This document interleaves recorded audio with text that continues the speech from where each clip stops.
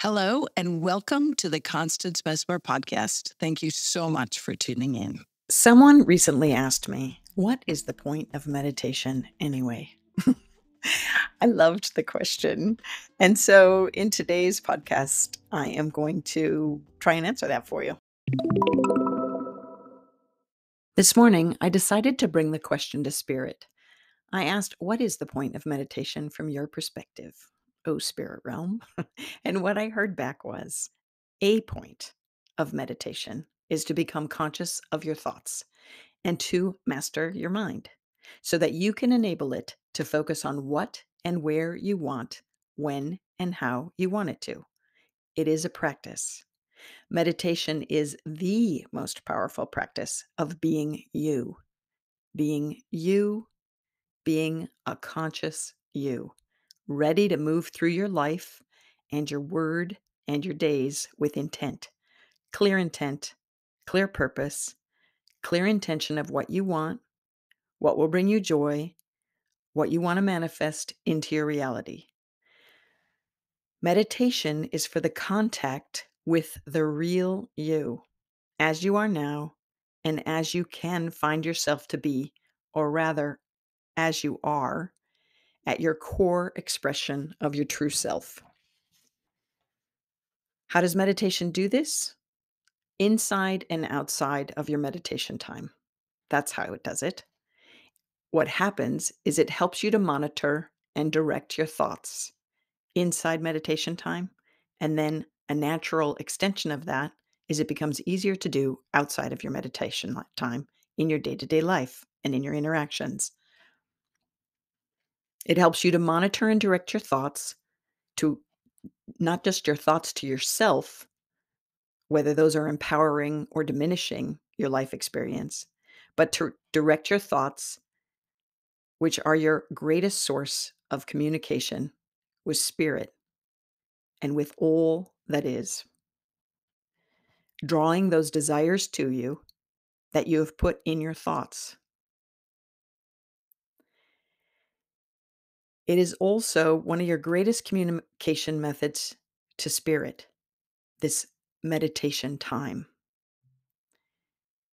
Because in those moments that you're using your meditation time to focus your thoughts in connection to spirit, it occurs.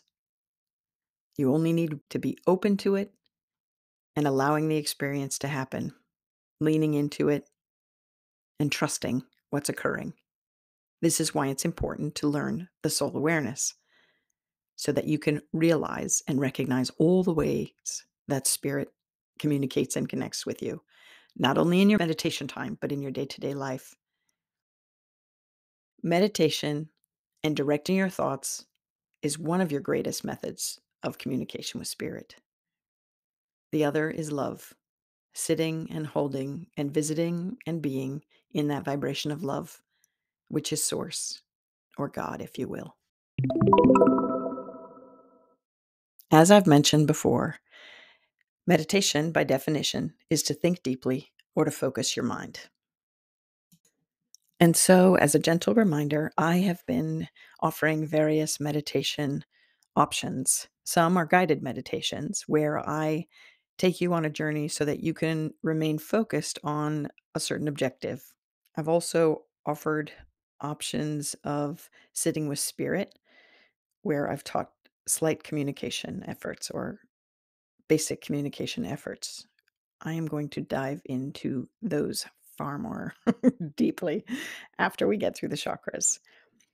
And then there's also visualization types of meditation where you hold a vision of something that you desire and you hold it and hold it and hold it. And that is going to be useful as we go into manifesting. And also just you on any desire that you want to draw into your life. And we will also use meditation time when you when I direct you and teach you to hang with God energy, God consciousness, the love light. And I'm building up to these because because they are of different vibrational frequencies. And what does that mean? At well, at each one there is the higher you go, the less uh, you have ego interference, basically, and you get uh, more filled with truth, source, light, love, if you will, and your own higher consciousness and your own eventually divine consciousness, that part of you that's connected to all that is. There is also another adjunct to meditation that I practice, which is contemplation, which is again still focusing your mind, but sometimes to for me it involves turning it over and over contemplating like what is this what is the greater meaning here? What are the unspoken truths that are playing a part behind my story or what might be some undercurrent foundational aspects to whatever it is i'm looking at? And we're going to use some contemplative time as we get into manifesting. It's also beautiful to contemplate when you're reading various scriptures to use contemplative awareness or contemplative prayer or contemplative approach where you're going what's the deeper meaning here? What's the meaning behind what's on the surface? That's just a beautiful way of opening up connection to a greater truth as well. You can use that contemplative approach when you're tuning in and kind of going, all right, what's this scenario with this other person in my life about? What's the greater lessons? What's happening? And before you get into that, you can just set the intention that your heart and mind be open and that spirit and guardian angels, God, highest truth, all good, all light, love, come forward and fill you with the greater awareness of what's the dynamic you know what's the undercurrent and what's the greatest you know whether it's lessons or things that need for resolution or awareness and understanding. So you can use contemplative not only in sacred scripture but also the, the scripture that is your life right and your interactions. So um, once you start reaping the benefits and the rewards of a nice meditative practice, even if you bounce around to the various forms, you begin to realize that it is fantastic for mental emotional, physical, and spiritual health. Powerful, powerful, powerful, and necessary for all of these. And so with meditation, there's various forms and various goals, you know, even clearing your mind, emptying your mind, going to source, focusing on a thing, whether it's a sacred word, aka mantra, or the dripping faucet, or the subtle sensations in your body, or using your meditation time and working through troubles and issues and getting in touch with spirit to help all of these things it's all beneficial. But mostly meditation and focusing your thoughts on a particular task or particular thought or sensation or emotion like love really helps to have you get in your own control because otherwise uh, thoughts can sometimes drive us crazy. And you're really meant to be in the space of joy and love. It's where you come from, it's what your source is. And so meditation is, in the long run, really to get you back to the infinite being that you are.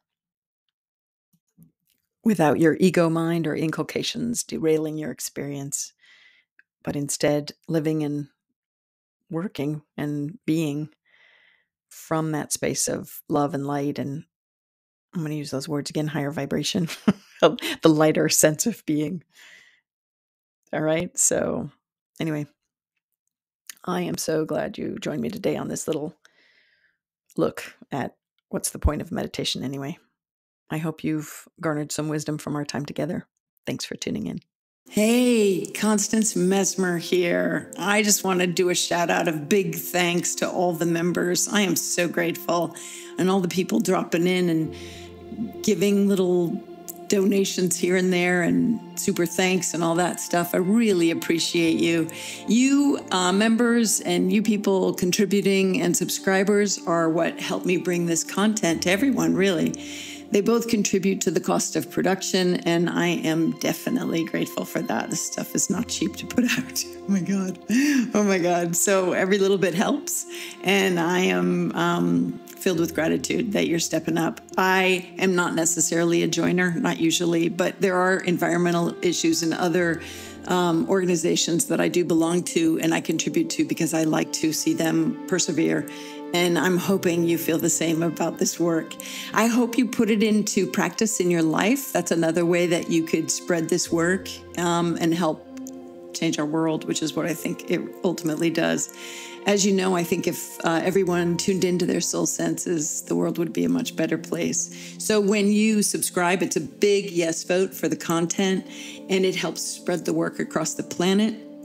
So when you put the lessons into practice and subscribe and like and share, you help me help you carry the lesson beyond you and me. And I am just really grateful. Legally speaking, this podcast is presented solely for educational, spiritual, and entertainment purposes.